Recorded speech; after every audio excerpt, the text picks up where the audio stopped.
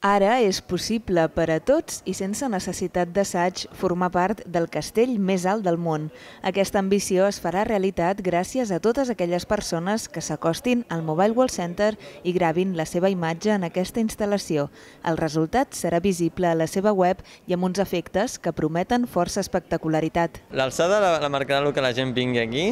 Pots veure la posició on estàs dintre del, dintre la torre i veuràs el, el paisatge de Barcelona que veuries si estiguessis a 100 metres, per exemple, des de la plaça Sant Jaume. És tan sols una de les obres que formen part de Music and Arts, una exposició en els sentits de la vista i l'oïda comparteixen protagonisme a parts iguals.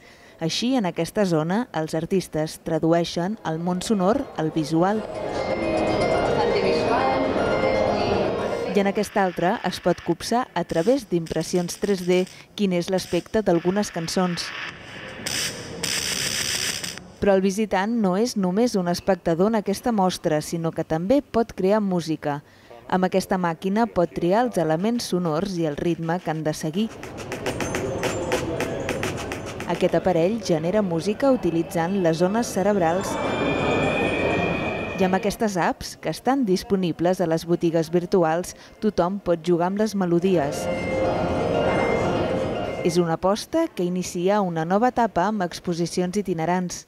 El Mobile World Center és un espai que està que d'estar en constant transformació perquè la tecnologia està i la mobilitat ens transforma cada dia, per tant ha de ser la nostra finestra en aquest moviment tecnològic i la idea és treballar diferents eixos temàtics els propers reptes seran, per exemple, l'internet de les coses, la gamificació o la tecnologia wearable.